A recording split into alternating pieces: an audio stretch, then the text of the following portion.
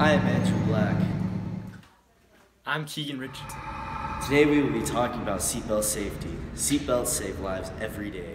People not wearing a seatbelt are 30 times more likely to get ejected in a crash. On December 5th, 2017, my best friend Lucy was ejected from her sunroof during an accident and was killed on impact. It was a tragic accident.